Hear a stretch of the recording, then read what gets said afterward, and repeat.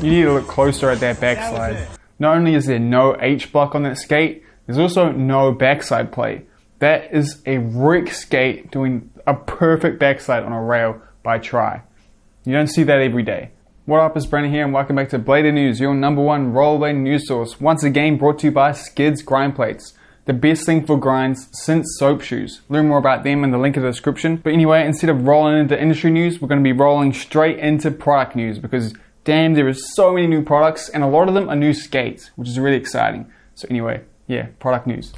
Before we get into all the new skates, I want to talk about a shirt that Nike just released featuring a rollerblading iguana. I think the shirt is really sick and I wouldn't mind having it, but I do encourage you all to not buy it and instead support some rollerblader owned companies.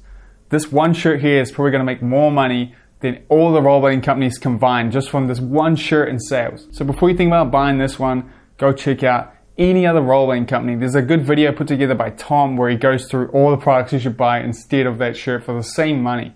It's really funny and good as well. And he's a channel you should definitely subscribe to as well. So many cool videos coming out from him. I'll link to that in the description and in the corner. Now onto the skates, and first we're going to start off with them skates, of course. Recently, them has been posting some one of one Them 909 skates designed by Greg, and they all feature a strip of grip tape on it. It's very impressive to see that just that one strip of grip tape can make the skate look so much more unique and really cool. It shows all the options you have for just changing something so small. And this is a mod that everyone can do at home, you know. Everyone has a skate shop near them that sells grip tape or even scooter deck tape. And there's usually so many options. You can just go down to the skate shop now and pick out like a cool color and then customize the skate. And they'll look really sick like this. Them skates just keep putting out so much cool stuff, man. It's so hard to keep up. And then everyone thought they were completely dead, including me, hearing absolutely nothing about Remz ever since their last rocky launch with a skate that a lot of people couldn't skate. Over on the Platform podcast, there was an episode featuring Rob Kellett where he quickly mentions that he's got some brand new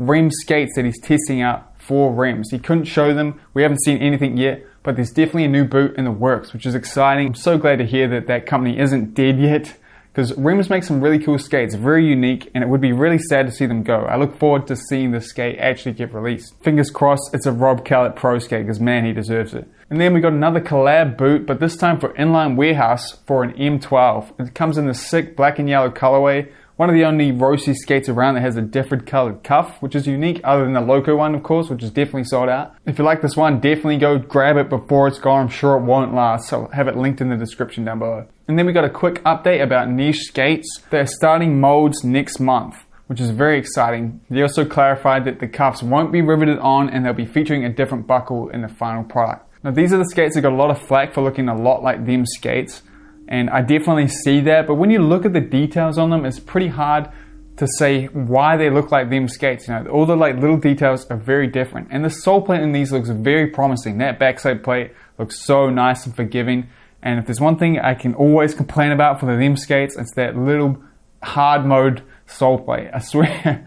So I'm excited for these skates and I can't wait to see more. More skate options are so good. And look at this option he made. This is picture's already been released, but this looks so cool with the like the white swoosh, you know, looks really cool. I'm excited for these. And then we got the absolutely huge news that there is a new product distributor in Europe called Disroyal. And it's not really new, it's actually a returning OG brand, originally founded as a daughter company of Powerslide in 1996. But today it is back 100% independent from Powerslide and is completely run by skaters for skaters. The first company they announced that they're going to be distributing is Gawds. And now if you go to the Gawds section of Disroyal's website, you'll see them teasing a pro skate for Tim Franken. There's no pictures of it yet, there's only a price point, so definitely subscribe so I can show you what it looks like when they release it. But that's super exciting. New skates are always good. And that's not all we have coming from this brand. That because this brand, this product section is absolutely huge because Disroyal has so many new products. So let's, let's keep going. Disroyal also launched its own brand called IQONs brand. Now this is an urban focused brand that also has some aggressive skates and parts. On launch they've teased like six skates or so. I'm not going to show them all yet because none of them have actually been released. There's no pictures of them. There's just the picture of the silhouette and there's too many to go through. I'll talk about them again once they're actually released. One of them is definitely an aggressive skate though. I'll link to the whole set so you can look at it yourself.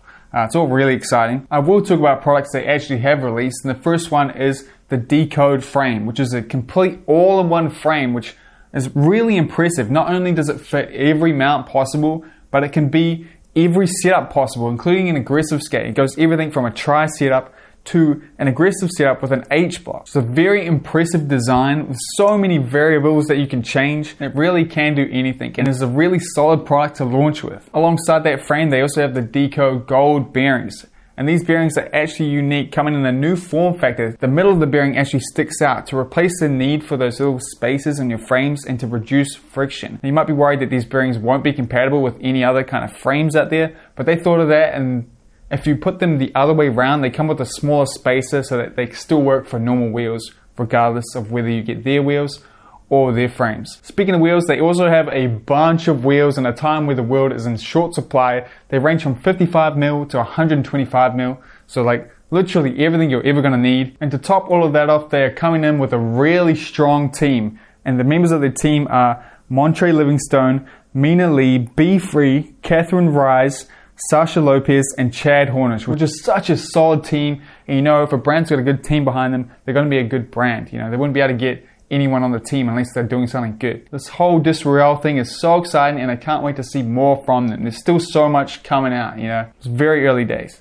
And then I want to talk about a company that I've been meaning to talk about for so long now because they're doing something really cool, and that is Fruittech Hardware. Now, the main thing this company does is not only have this really cool logo, but they also supply aftermarket hardware for all skates.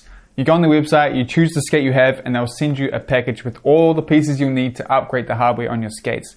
And as someone who's skating Aeons, which have the absolute worst hardware in the world, this company is really cool to learn about. Another really cool thing this brand is doing that I want to mention is their Sprout initiative. And this is where they're supporting young bladers, putting them on the team, giving them stuff and helping them out, which is really cool. But the reason we're talking about them here today is they have a new product and it is their own bearings. Everything they're doing seems really cool. Definitely check them out. They'll be linked in the description. And then for our final piece of product news, we got a hardcover 200 page rollerblading book from the dudes in Russia. And don't worry, the book isn't in Russian, it's been translated to English. The book just covers a two week skating trip across Russia that a bunch of dudes in different cities got together to make. Russia has some crazy skaters, and it's cool to see a crazy product like this come out. I haven't seen a hardcover book for blading ever, I don't think.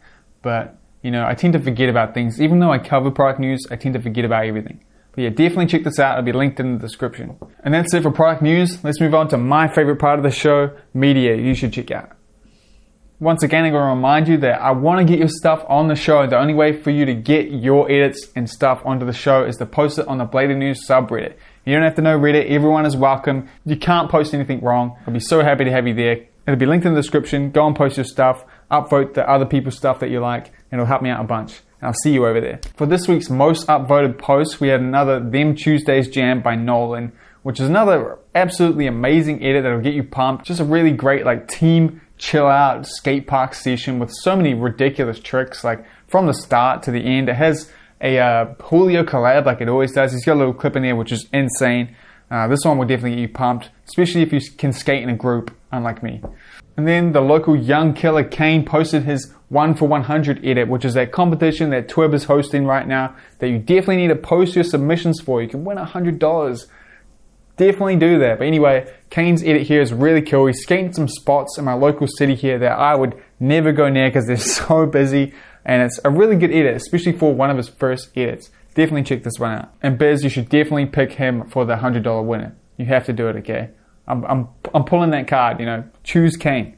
And then we got an amazing full part from Yondriel called Magnetician. This part has a very unique vibe. It's very slow pace and very like arts like, I guess I could say. It's got the usual ridiculously tech tricks that come from Yondriel. The whole entire thing really impressed me, but I was completely blown away by the mid spin kind grind in there that he's doing while he's getting kicked out. I just don't understand how anyone can like land a trick as hard as that under that much pressure. Very impressive. This one will get you pumped.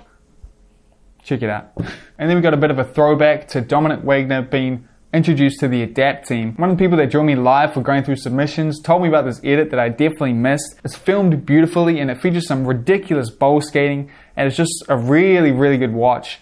And yeah, I wanted to mention it. It should have way more views than it does. Definitely check this one out. It'll get you so pumped. You'll be going to skate bowl even if you hate skating bowl. There's a reason they gave this guy the opener for Blader News in a previous episode, and it's because he's a ridiculously good skating. He posted a full edit in the subreddit, and the whole thing blows my mind. There's just so many like ridiculous spin tricks.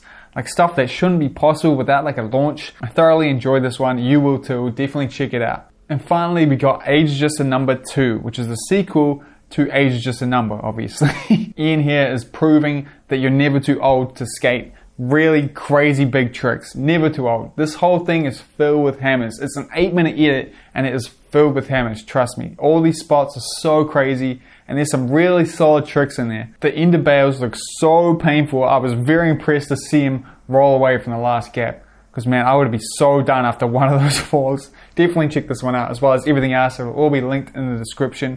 Because that is it for media, and that is it for Blader News this fortnight. If you've been paying attention to me, you'll notice that I've been going live once a week recently.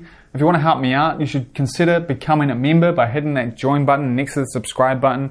That way you'll get to flex on people in chat with some exclusive emotes as well as a badge next to your name. It would really help me out, especially because me watching all your guys' submissions on Blader News always gets the video demonetized because it's copyright music. But of course, as always, subscribing helps just as much as well as hitting that like button. I want to give a huge thank you to my Blader News correspondents, Matt, Sonic Sports, Sweet Moves, and James, as well as the rest of my patrons and members, and of course you for watching, especially if you're making it through this horrible end screen. Now we're going to end it with a sick back unity. It's actually a three piece post, but you're going to have to click the link to watch the other two pieces. It's worth it. Definitely check them out, okay?